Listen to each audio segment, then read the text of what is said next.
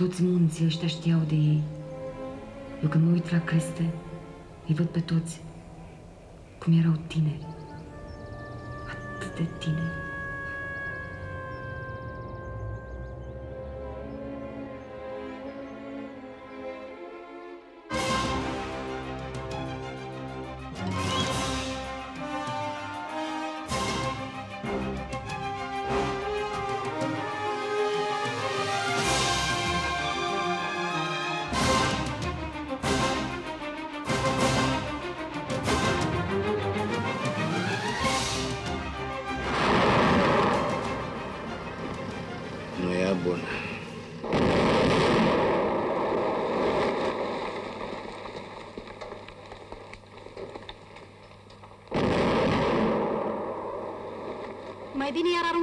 Pe bandiția din vârful muntelui. La noi a spart cooperativa.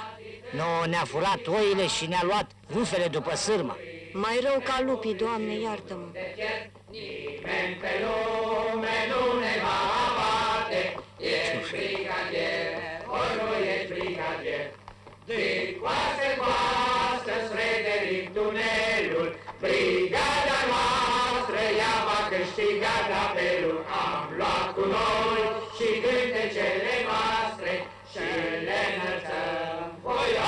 Bagă foc, tovule, că pierzi trenul!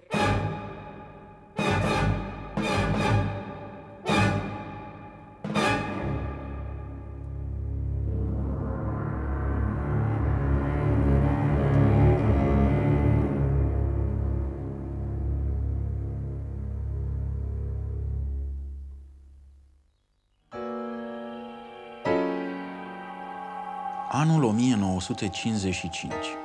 Erau pline satele făgărașului de familii îndoliate. Erau ani în care Occidentul, obosit de războiul cu Hitler, îi lăsase lui Stalin mână liberă în estul european. Puternica organizație din Munții Făgărașului, compusă din elevi, studenți și țărani, era condusă de Ion Gavrilă Ogoranu, zis Moșu. Deși avea puțin peste 20 de ani, îi se spunea Moșu pentru vitejia și înțelepciunea lui.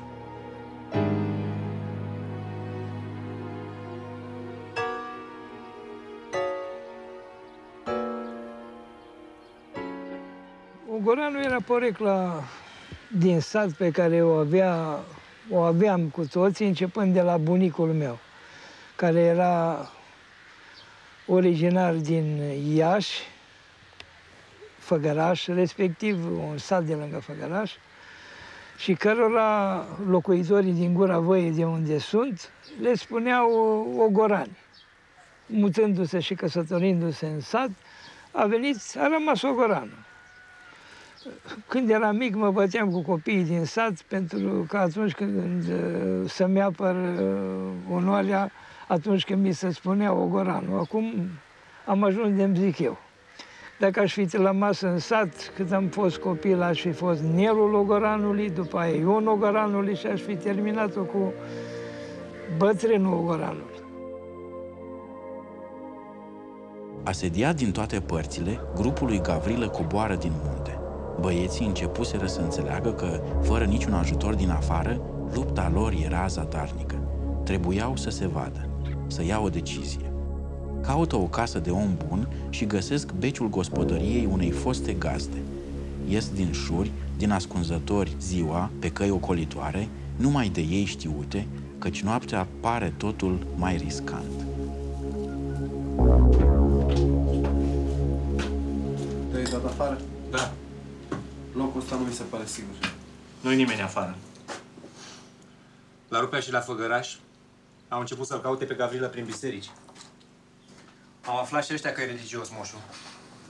Unde e Gavrila? A dispărut pur și simplu.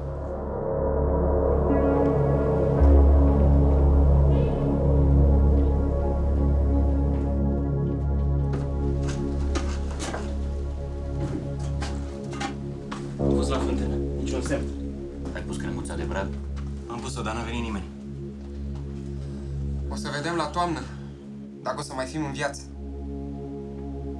Ai vorbit cu profesorul Grovu? N-am putut, că în stat e vânătoare de oameni. Ce ne mai așteaptă? Unde o să ne mai găsim adăpostă? Păi ne despărțim, ce să facem? Omul nostru, nea Mihai Moga, ne-a mai dat două ranițe de mălai. Pâine, slănină, ceapă, săpun. De ce să mai facem cu ele dacă ne despărțim? Sora mea a primit de la ofițerul Mohor o hartă Iugoslaviei. L-a întrebat ce să fac cu ea. Zice să-i o dai fugarul. Ne credea proști. Băieții s-au adunat să ia o hotărâre, să treacă dincolo de sârma ghimpată. Comuniștii sârbi îi trimiteau pe români înapoi în țară. Primeau un vagon de sare pentru fiecare fugar. Să se ascundă în munții Făgărașului era imposibil. Munții erau literalmente ocupați de trupele securității. Pe urmele fiecărui luptător se afla o rețea informativă de circa 100 de persoane. Au decis să continue să reziste fiecare cât ori putea. Despărțirea a fost tragică.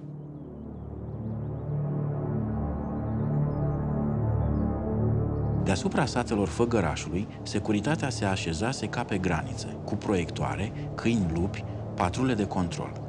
Își amintea un sătean că în acea vreme mașinile securității circulau prin Pojorta sau prin Voievodeni ca pe calea Victoriei.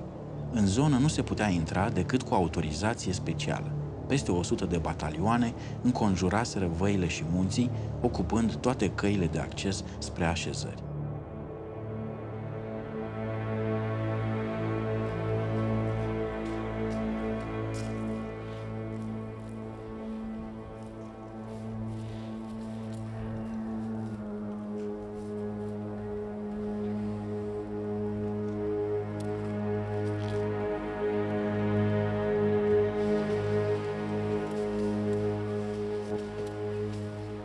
Fiecare zi căutam la fântână. Băieții nu mai știau nimic de Gavrilă. Au căzut legăturile. Unde s-o fi ascuns moșul, Doamne?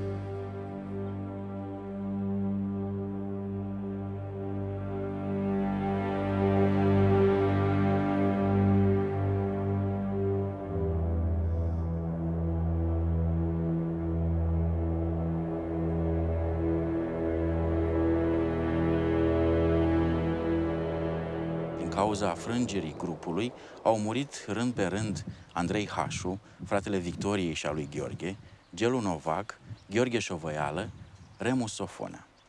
Grav rănit în munți, Ion Ilioiu este schingiit de securitate pentru a da nume de gazde și complici.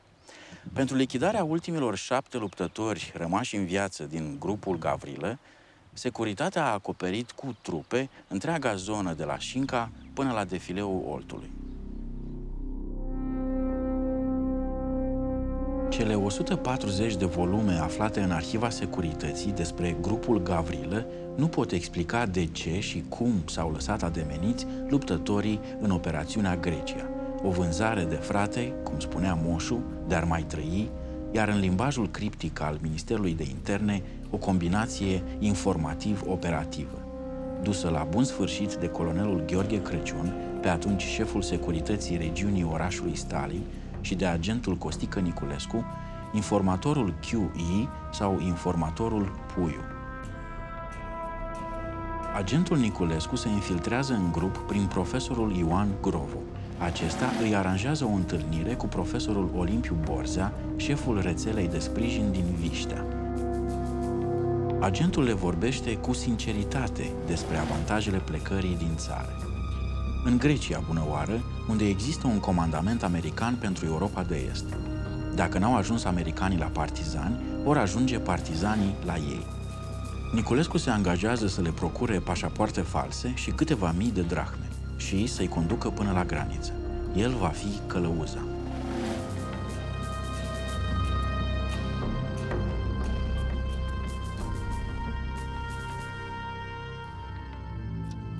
Prin Ioan Grovu, securitatea îl introduce în rețeaua de sprijin pe agentul Costică Niculescu. Biografia agentului este greu de reconstituit din documente. Și astăzi, după 50 de ani, Arhiva CNSAS nu poate oferi date despre identitatea acestuia. Costică Niculescu era născut la 9 iunie 1915 în orașul Constanța. A lucrat de tânăr la poliția din port, secția Moravuri. Cum îi plăceau femeile și banii câștigați ușor, este prins într-o infracțiune și condamnat penal la 5 ani de închisoare. Este trimis la penitenciarul din Făgăraș. După 2 ani de detenție, va fi recrutat ca informator de securitatea regiunii orașului Stalin. În perioada misiunii Grecia, a locuit pe strada Teodor Aman, numărul 42, din București, într-un apartament folosit drept casă pentru operațiuni speciale. De fapt, întregul bloc a suferit o mișcare de locatari neobișnuită. 130 de persoane au fluctuat în 10 ani. Aceste câteva informații ne-au fost date de ultima sa soție. A avut patru căsătorii și trei copii. Deși aparent Costică Niculescu nu avea nicio slujbă, era mereu plecat în delegație, trăia pe picior mare și apartamentul primea mereu oaspeți de soi. În apartamentul numărul 3, de la etajul 1, a fost adus și profesorul Grovu. Aici s-au discutat trădarea și prețul ei. Mai e ceva acolo? Nu. Aici nu mai am nimic. Hai să-i lucrăm pe ăștia. Hai. Metea Victor. 1929 lei. Gavrilă Ioan, 1923. Gura Văi. Da. Hașu Gheorghe, 1931. Pojorta. Chiușdea Ioan, 1931. Berevoi mici. Novac Ioan, 1935. Tot berevoi mici. Hașu Laurean, 1921 Breaza. Pop Ioan, 1908 Indiana. Auzi, americanul ăsta parcă avea mustăți. Parcă. Oricum îi le tăiem noi la gherlă, dacă le mai are.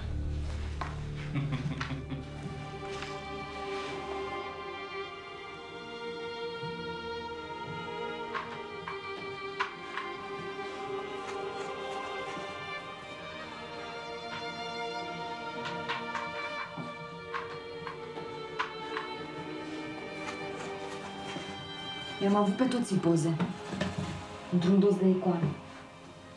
Am fost bine pitulat. Pe Andrei l-am văzut împușcat, aruncat în fața primăriei. Iar Gheorghe știa că l-așteaptă aceeași soartă. Au primit mesaj de la profesorul Grovu să meargă să se întâlnească. S-au lăsat în voia sorții. De plecat trebuiau să plece. I-am făcut rost de un costum de haine, i-am pus în buzunar și o sticluță de aghiaz.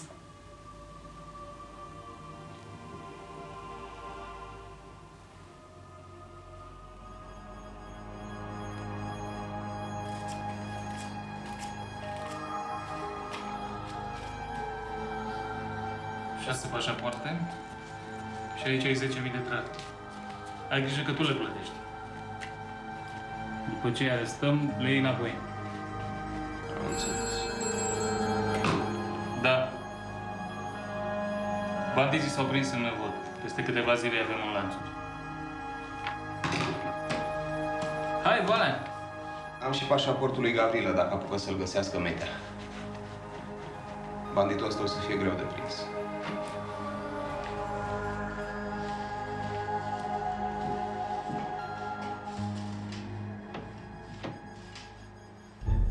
Anunț și pe Victor Metea. M-am îmbrăcat din cap până în picioare în haine bărbătești și m-am dus în Ileni. Și i-am spus că în cutare seară să fie la gară.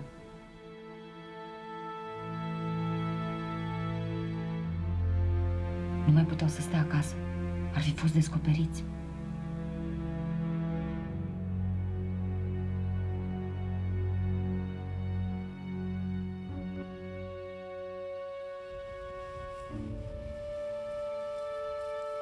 Victoria Trâmbițaș a fost pentru Andrei și Gheorghe Hașu, frații ei, soră, prietenă, iscoadă, om de legătură. A văzut altfel planul Grecia. Presimțirile ei de țărancă obișnuită să înțeleagă mai mult decât spun cuvintele domnilor, i-au arătat că Gheorghe nu va ajunge niciodată în Grecia. Temerile ei nu-i puteau opri. Cuprinși de deznădejde, băieții nu mai aveau altă cale. Și așa, rând pe rând, sunt anunțați Chiușdea și Novac și Ioan Pop, zis Hileru, să plece în Grecia unde vor găsi sprijin american. Nu declarase președintele Truman că e mai important să salvezi lumea de totalitarism decât să fii președinte încă patru ani? Așa au hotărât americanii să susțină guvernul grec, care, lipsit de mijloace, abia mai rezista sub asediul forțelor comuniste.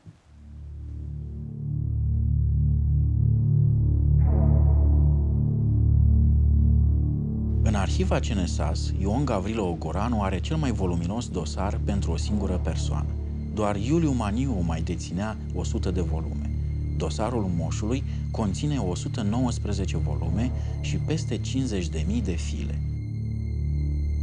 După despărțirea de băieți, Gavrilă s-a strecurat patru zile prin desișul pădurilor, prin grâne și mlaștini. Nu mai avea nicio provizie, doar firul liniei ferate îl interesa.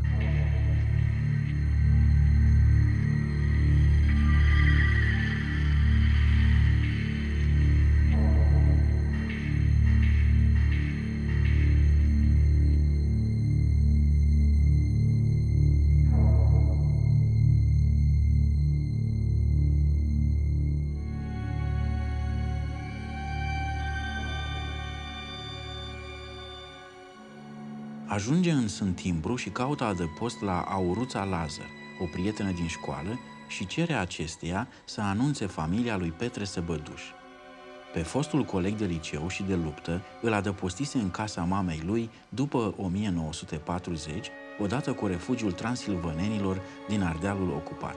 Acum se gândea să-l roage, măcar pentru câteva luni, să-l ascundă până va putea trece frontiera.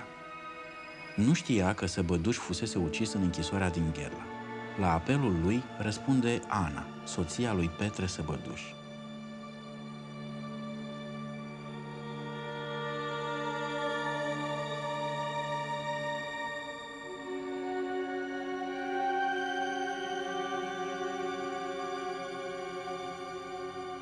Cei șase s-au urcat în tren spre București. Nu se știe dacă au avut încredere de plină în călăuza lor, agentul Costică Niculescu. Dar în tren aveau să-și povestească ultimele clipe petrecute cu cei dragi, învoierile făcute și mesajele codificate hotărâte cu părinții. Compartimentul lor era dotat cu tehnică de ascultare. Colonelul Crăciun se întrecea pe sine.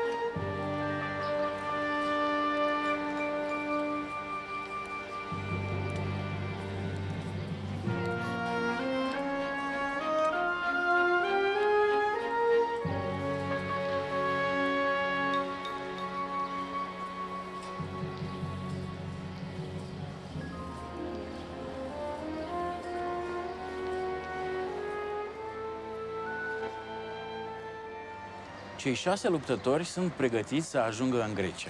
Vor pleca spre Constanța și de acolo vor trece frontiera.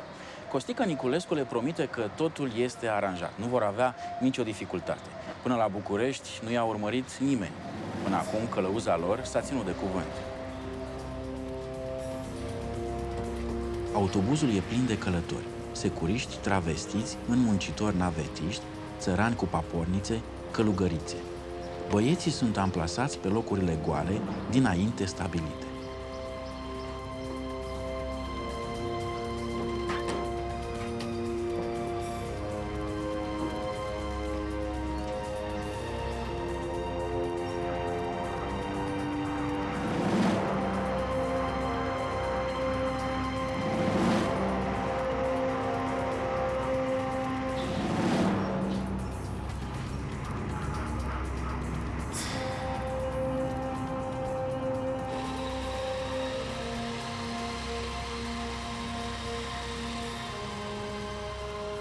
Pe o stradă mai lăturalnică, mașina dă semne de oprire.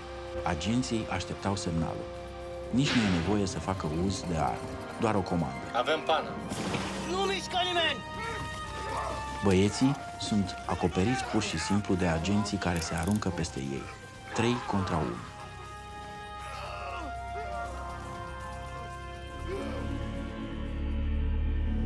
Am stat cinci ceasuri pe peron să-i văd și am văzut. Mergeau câte doi și au urcat într-un autobuz. De ce, doamne, n-am luat un taxi să mă țin după ei? Să zic, domnule, mână mașina, să văd unde, unde merge autobuzul ăsta. De ce, doamne?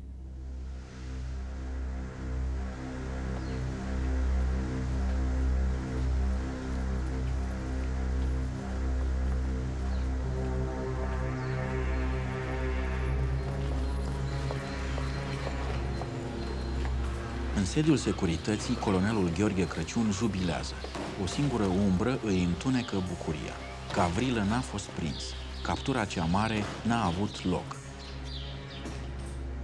În buzunarele bandiților s-au găsit cărți de rugăciuni și firimituri de anafură învelite în pânză albă. Costică Niculescu a dus la bun sfârșit operațiunea Grecia. Ce n-a reușit securitatea în 10 ani de război cu țara Făgărașului, a izbutit mintea diabolică a colonelului Crăciun, ajutată de trădarea profesorului Ioan Grovu și de zelul criminal al lui Costică Niculescu. Să mi-l scoateți pe Gavrilă din fundul pământului. De unde știți voi ce a răspuns. Altfel vă toc. Și morți vă bat. Unde o fi Gabriela? Cum a scăpat? Ce o să zică tata? Sper să nu e moare.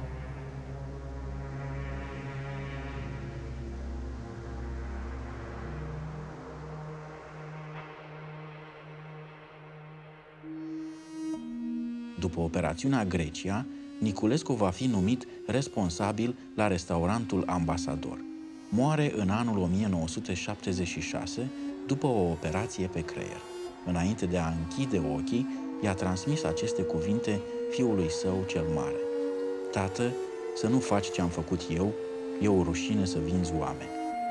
Soția și copiii care nu bănuiau tenebroasele ocupații nu au știut la ce s-a referit Costică Niculescu în acest ultim mesaj.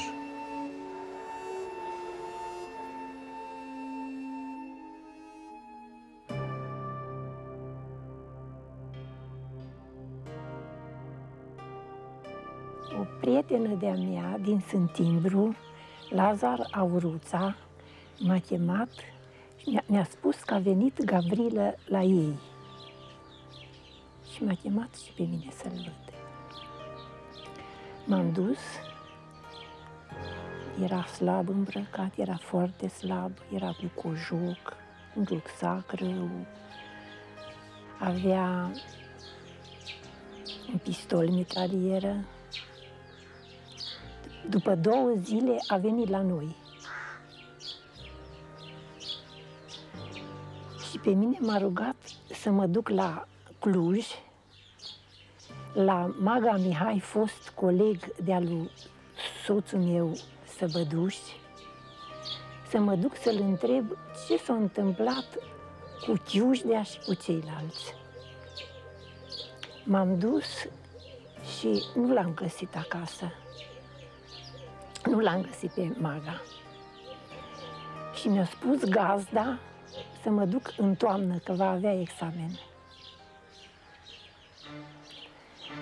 Și m-am dus în toamnă și mi-a spus că Ciușdea și ceilalți au trecut în Grecia.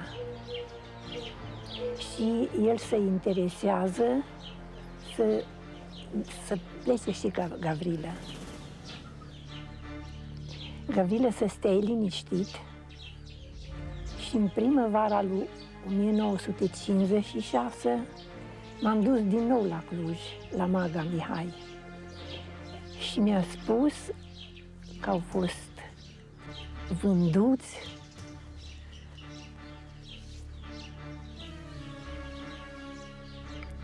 și la securitate. Știușdea cu toți, în afară de Gavrilă. Gavrilă să facă ce știe.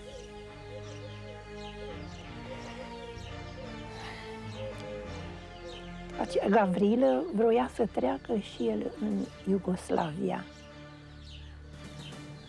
Și eu am spus că și soțul meu acolo a fost prins și să nu se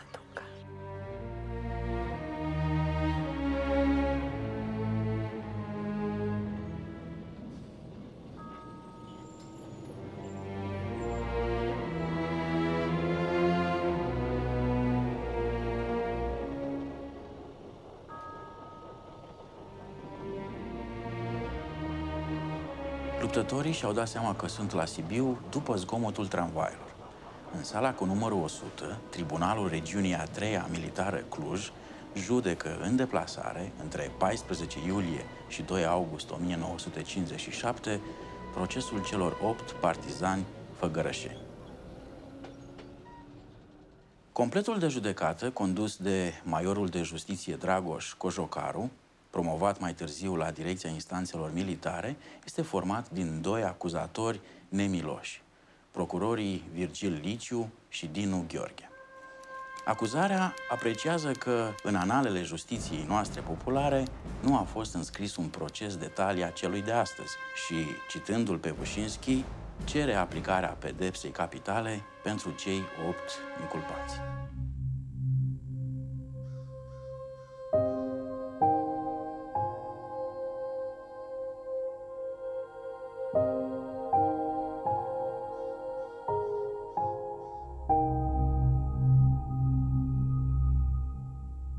Comunitate bravă de români l-a ajutat să supraviețuiască. Aveau și ei, cei din Galțiu, tragediile lor. La un număr de 30 de case de pe o singură stradă, comuniștii au deportat și ucis 11 familii.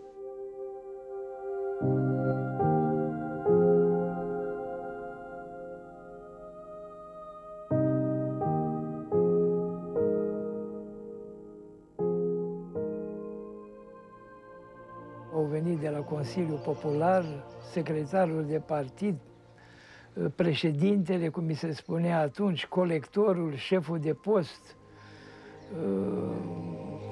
În sfârșit, vreo șase-șapte inși în, au năvălit în casă, au năpădit în casă și prima, prima impresie pe care am avut-o și soția și eu a fost că vor să facă percheziție. Eu m-am ascuns acolo unde obișnuiam să mă ascund și au izbucnit.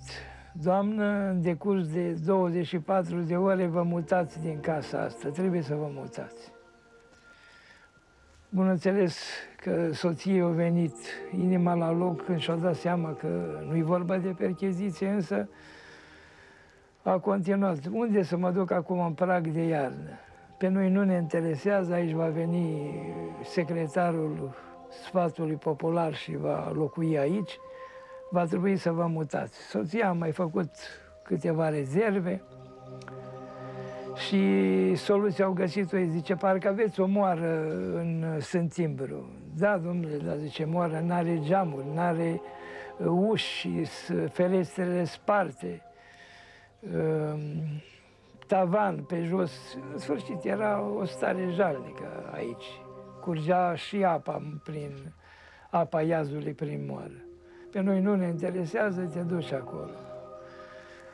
Bine, dar în 24 de ore nu mă pot duce. Atunci uh, te duci, era și o, o femeie acolo, mai cu milă, au spus, bine, doamnă, te duci în câteva zile. Și așa am ajuns să ne mutăm aici. S-a mutat soția pe drum cu căruțele, eu am venit noaptea și ne-am așezat. Ne-am organizat până toamna, am mai pus un om din sat care și-a schimbat ușile la casă, ne-a dat ușile, am uh, altul ferestrele, pe datorie, bun înțeles, și cu vremea ne-am uh, aranjat și noi ca să se poată locui aici. Și aici am stat ascuns, cum am spus, timp de 15 ani, mai bine de 15 ani.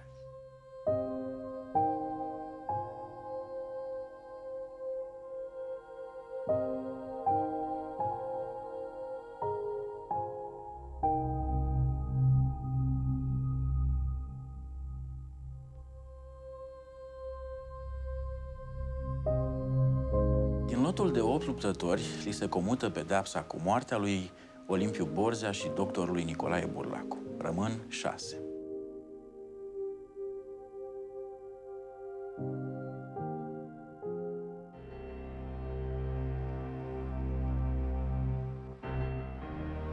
În ziua de 6 august 1957, băieții cu cătușe la mâini au fost îmbarcați în dubă și porniți spre București.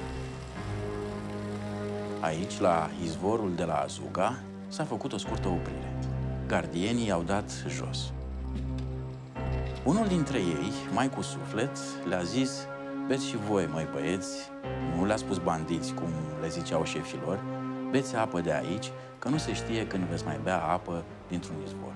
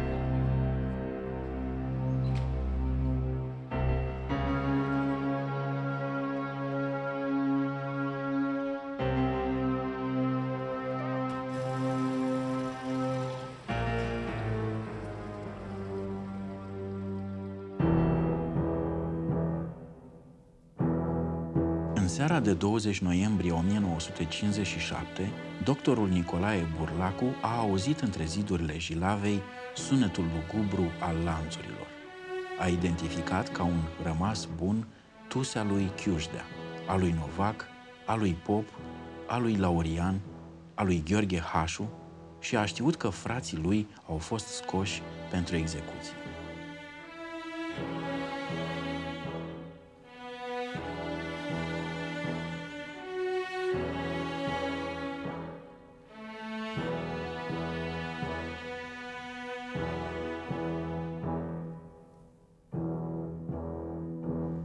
Urcat unul câte unul spre Valea Piersicilor. Ultimul tatăl nostru este rostit de profesor, de Ioan Chiușdea. Comandantul grupei de pușcași, Gheorghe Sărceanu, îi așează cu spatele la trăgători și îi prinde de stâlpii de execuție. Sunt împușcați pe rând. Victor Metea va fi executat singur în ziua de 21 aprilie 1958.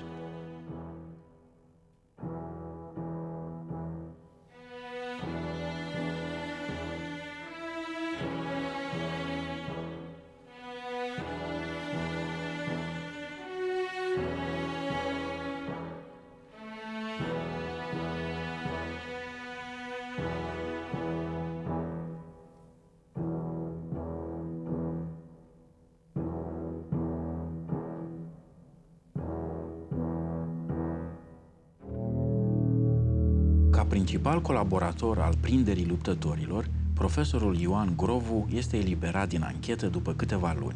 Se întoarce în satul lui, Cărțișoara, și preia scaunul de director al Liceului Industrial din orașul Victoria. Cu banii trădării își cumpără un autoturism și își reface casa. Despre fructoasa lui colaborare cu securitatea nu a știut nimeni până la deschiderea arhivelor, după anul 1990.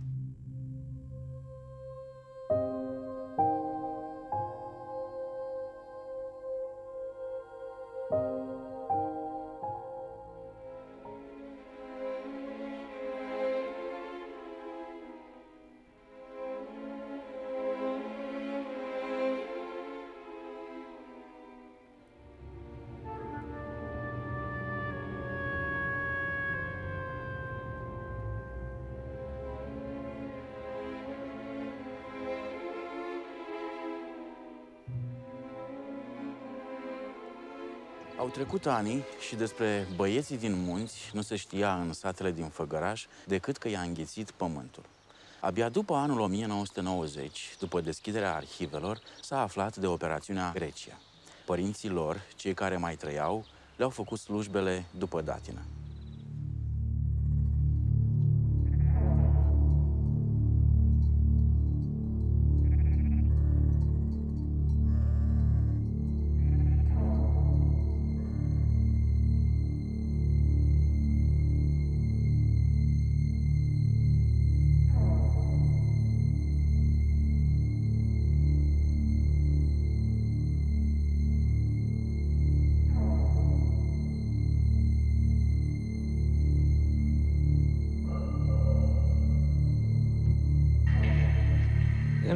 1973 am ajuns la concluzie că uh, totuși va trebui să trec granița. Să încerc să trec granița. Nu vedeam atât problema atât de grea. Definitiv, uh, mai bine păzită de cum a fost uh, granița decât am fost noi înconjurați, nu putea fi. Însă nu puteam pleca din țară până când nu mai vedeam odată să văd mama și casa părintească, munții. Și asta a făcut să mă duc la, mă duc la Făgăraș. Nu vedeam pericol prea mare și nici n-a fost pericol prea mare. Cel puțin după atâția ani să te mai caute, m-am schimbat ca figură. Practic, eu de m-aș fi văzut trecând, nu m-aș fi recunoscut.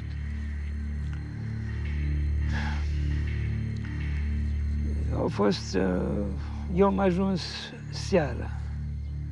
Noaptea și am intrat hotărât că nu vreau să intru seara, vreau să intru, să mă urc în podul, în podul uh, cu fân și să observ în curte, într-adevăr, ai mei sau, sau acolo sau au fost coși, așa cum se va se întâmpla în multe locuri.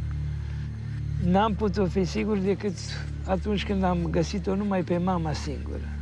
Și ce m-a mirat e că răceala cu care m-a primit și uh, amenințarea ca să ies și să plec. Nu m-a recunoscut, nu m-a mai recunoscut. Și, și lucrurile se întâmplaseră așa. Securitatea s-a folosit de procedeu, s-au venit uh, în câteva rânduri inși care îi spuneau, mamă, uite, am venit acasă, eu sunt Ion. Și bun înțeles că nu i-au recunoscut și i-a scos afară din curte.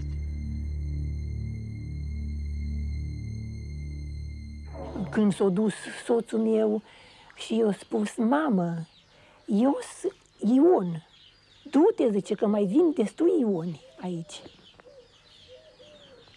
Dar mamă, nu știa cum să o convingă, cum să-i, să-i spună că mai bătut. Toți părinții își bat copiii. Dar, mamă, ce semne avea copilul dumitale? Și atunci a spus o aluniță și încă un semn. Și o lăprima și a zis, dragul mami, atunci nu mă l-a recunoscut. 15 ani a avut tehnică operativă în casă familia lui Gavrilă. Mama, surorile, cumnații au fost supravegheați pas cu pas, hărțuiți continuu. Securitatea și-a dat seama că Ion Gavrilă trăiește după ce, la un parastas, mama lui a rugat preotul să-l treacă pe băiatul dispărut în rândul celor vii. Preotul era sursă și sursa și-a făcut datoria. Mama lui Gavrilă a suportat bătăi și chinuri pentru fiul ei fugar. În 1976, Moșu este arestat. La direcția de cercetări din Calea Rahovei, îi se recompune viața de fugar, minut cu minut.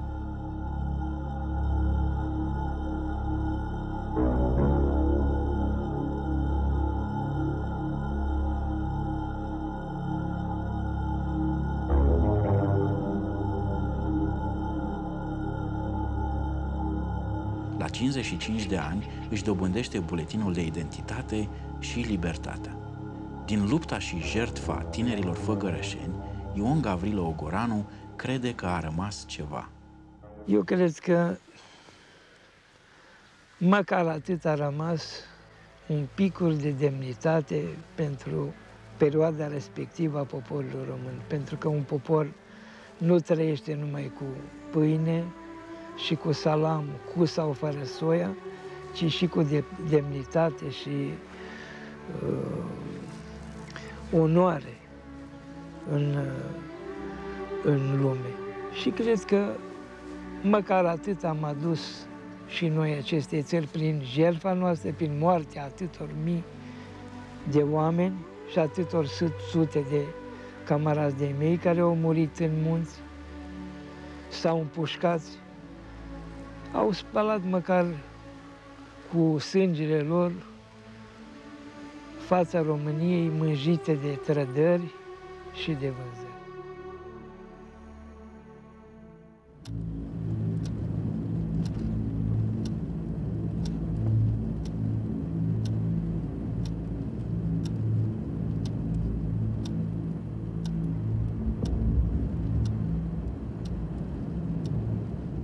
Aprilie 1971, la izvorul de la Zuga, Ioan Grovu, cel care își trădase frații, acum aflat la volanul autoturismului personal, derapează, se răstoarnă și moare.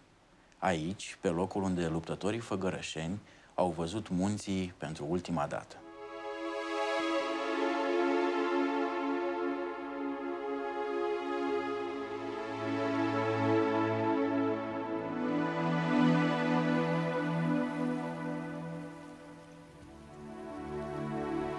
Toți munții ăștia știau de ei. Eu când mă uit la creste, îi văd pe toți cum erau tineri. Atât de tineri.